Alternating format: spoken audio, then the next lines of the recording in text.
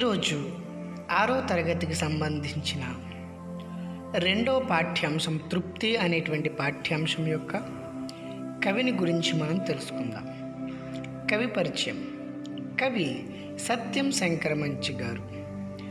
ఈయన మార్చి మూడో తారీఖు పంతొమ్మిది వందల ముప్పై ఏడులో గుంటూరు జిల్లాలోని అమరావతి చాపాడు అనేటువంటి ప్రాంతంలో జన్మించారు. తల్లిదండ్రులు శేషమ్మ కుటుంబరావు. ఈయన గ్రామం పేరేమిటినన్నా గుంటూరు జిల్లా అమరావతి చాపాడు అనేటువంటి గ్రామంలో జన్మించారు. అయితే సత్యం తల్లిదండ్రులు పసితనంలోనే దూరమైపోగా సీతమ్మ పెద పున్నమ్మల దగ్గర సత్యం పెరగడం జరిగింది. వారిద్దరూ ఎంతో చక్కగా పెంచారు. తరువాత సత్యం సాహిత్యాభివృద్ధికి అన్నలు రామారావు రాధాకృష్ణమూర్తి పూర్ణానంద శాస్త్రి గారు ఎంతగానో ప్రోత్సహించారు. అన్నల ప్రోత్సాహంతో సాహిత్యాన్ని బాగా నేర్చుకొని అనేక రచనలు చేశారు. అందులో కొన్ని రచనలు చూద్దాం. అమరావతి కథలు నవలలు రేపటి దారి సీత స్వగతాలు ఆఖరి ప్రేమలేఖ ఎడారిలో కలువపూలు నాటకాలు హరహర మహాదేవ ఇతర రచనలు షేక్ జాన్సన్ శాస్త్రి శారదానాథ్ సాయిరం అనే కలం పేర్లతో దిన వారపత్రికల్లో వ్యంగ్య వ్యాసాలు రాసినటువంటి వ్యక్తి సత్యం శంకరమంచి గారు. రచనలు మరొక్కసారి చూసినట్లయితే అమరావతి కథలు నవలలు రేపటిదారి సీత స్వగతాలు ఆఖరి ప్రేమలేఖ ఎడారిలో కలువపూలు అనేక నాటకాలు హరహర మహాదేవ మరియు ఇతర రచనలు ఈయన చేసినటువంటి రచనలు.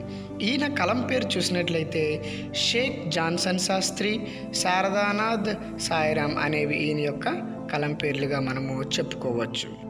అయితే ఈయన జీవిత విషయాలు చూసినట్లయితే ఏలూరు సర్ సిఆర్ రెడ్డి కళాశాలలో బిఏ చదివారు. అలాగే ఉస్మానియా విశ్వవిద్యాలయంలో ఎల్ఎల్బి చదివి న్యాయశాస్త్రంలో పట్టా పొందారు. బిఏ ఎక్కడ చదివారమ్మా? ఏలూరు సర్ సిఆర్ రెడ్డి కళాశాలలో చదివారు. ఉస్మానియా విశ్వవిద్యాలయంలో ఎల్ఎల్బి చదివి న్యాయశాస్త్రంలో ఏం పొందారు? పట్టా పొందారు. ఈయన రాసినటువంటి రచనలు ఏవైతే ఉన్నాయో అమరావతి కథలు రాసిన కార్తీక దీపాలు వెలిగించిన నిజమైన న్యాయవాదమే మౌలికమైన సూత్రం ఆయనకు. పాఠకుణ్ణి ఏకబిగ్గా చదివించే గుణం సత్యం కథల్లో ఉంది. అంటే పాఠకుడు అనగా ఎవరైతే చదువుతారో అతన్ని బిగించేటువంటి వ్యక్తి బిగించేటువంటి వ్యక్తి అంటే ఇంకా చదవాలి అనేటువంటి ఆసక్తిని కలిగించేటువంటి గుణము ఆయన కథల్లో ఉంటుంది. రేపటి దారి సీత స్వగతాలు ఆఖరి ప్రేమలేఖ ఎడారిలో కలువపూలు సత్యం కలం నుండి వెలువడిన నవలలు. నవల అనేది తెలుగు సాహిత్యంలో ఒక రకమైనటువంటి భాగము ఏంటంట? రేపటి దారి సీత స్వగతాలు ఆఖరి ప్రేమలేఖ ఎడారిలో కలువపూలు ఇవన్నీ కూడా ఆయన యొక్క నవలలు. హరహర మహాదేవ ఆయన రాసినటువంటి నాటకం. ఈయన ఆకాశవాణిలో ఉద్యోగం చేసేవారు. ఎక్కడ చేసేవారు? ఆకాశవాణిలో ఉద్యోగం చేసేవారు. అయితే ఈయన రాసినటువంటి అమరావతి కథలు అనేటువంటి గ్రంథం ఉంది కదా? ఆ గ్రంథానికి పంతొమ్మిది వందల డెబ్భై తొమ్మిదిలో రాష్ట్ర సాహిత్య అకాడమీ అవార్డును ఆయన పొందారు. అంత గొప్పగా ప్రాచుర్యం పొందినటువంటి గ్రంథం కాబట్టి ఆయనకి పంతొమ్మిది వందల డెబ్భై తొమ్మిదిలో రాష్ట్ర సాహిత్య అకాడమీ అవార్డు ఇవ్వడము జరిగింది. అయితే ఈ కథలు అన్నీ కూడా శ్యామ్ బెనగల్ దర్శకత్వంలో దూరదర్శన్లో కూడా ప్రసారమయ్యేవి. ఎవరు రాసినటువంటి కథలు? సత్యం శంకరమంచి గారు రాసినటువంటి కథలు దూరదర్శన్లో కూడా ప్రసారమయ్యేవి అని మనము చెప్పుకోవచ్చు.